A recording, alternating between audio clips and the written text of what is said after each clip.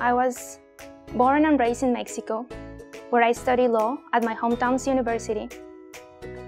I decided to go to law school because I was frustrated for the systematic injustices that I grew up seeing.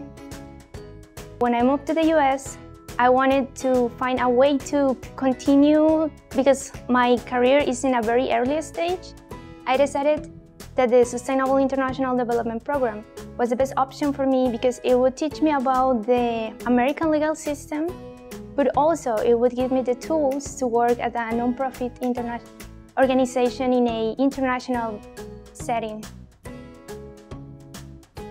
Northwest Immigrant Rights Project is a nonprofit organization that serves, that strives for justice for all, everyone, regardless of where they were born. We get to see cases of clients who have been through removal or asylum cases, cases that have been in the making for maybe 20 years.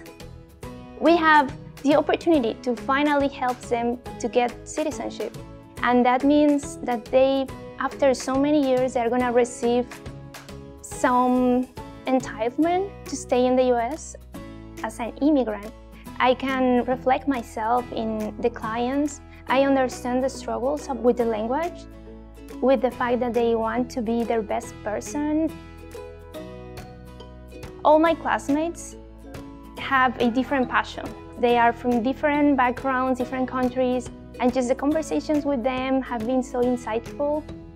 For example, one person, she is focused on advocating uh, for animal rights. Someone else is focusing on development, human trafficking, human rights issues like me.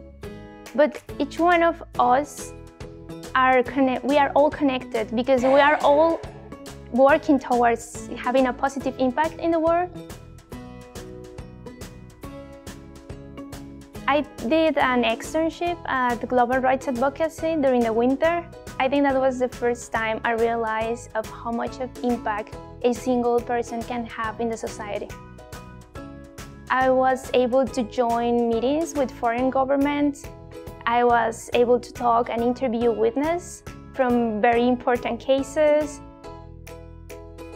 I think that having the opportunity to work in international human rights issues made me feel empowered. And maybe I cannot change the whole system, but if I change something and it has a positive impact in someone else's life, I think it was worth it.